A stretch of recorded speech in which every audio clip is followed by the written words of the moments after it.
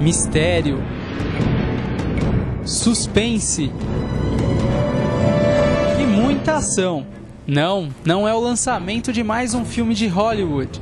É o duelo da semifinal da Copa do Brasil entre Corinthians e Botafogo.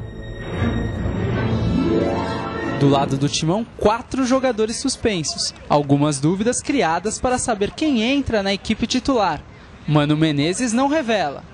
E os jogadores até assumem estar escondendo o jogo. É sempre bom ter esconder um pouquinho, né? Um jogo decisivo. É...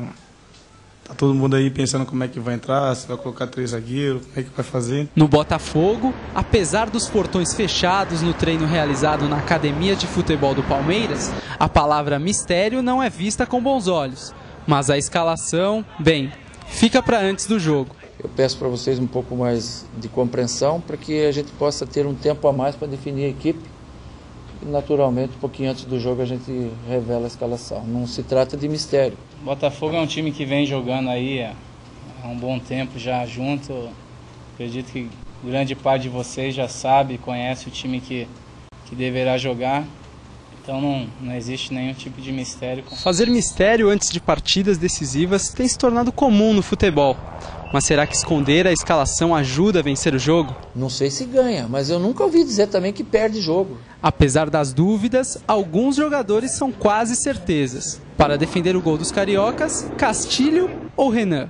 Personalmente a mim não, não valeu nada, mas para o jogo, para o time e eu já estava jogando. Estou preparado 100% psicológica e fisicamente para, para afrontar este jogo. Na ala esquerda do timão, para substituir André Santos, Mano Menezes não revela quem joga, mas meu íntimo assim, eu tenho para mim que eu vou jogar. Responsabilidade muito grande entrar no jogo desse. Só saberemos quem de fato entrará em campo minutos antes da partida. Fica o suspense assim mais para vocês, né?